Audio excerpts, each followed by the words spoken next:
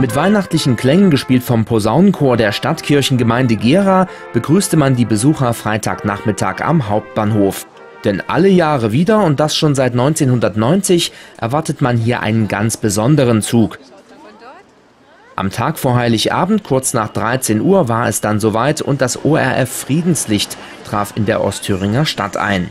Seit 1986 wird das Licht in Bethlehem in der Weihnachtszeit entzündet und gelangte vier Jahre darauf über Linz auch das erste Mal nach Gera. Dabei steht es als Symbol nicht nur für den Weltfrieden, sondern auch für den inneren Frieden eines jedes Einzelnen. Die weihnachtliche Botschaft wurde in diesem Jahr an insgesamt 232 Bahnstationen verbreitet. Um das Friedenslicht drehte es sich auch 17 Uhr an der Puppenbühne. Dort herrschte einiger Andrang, als das Türchen mit der 23 drauf am Eingang zum Gebäude geöffnet wurde.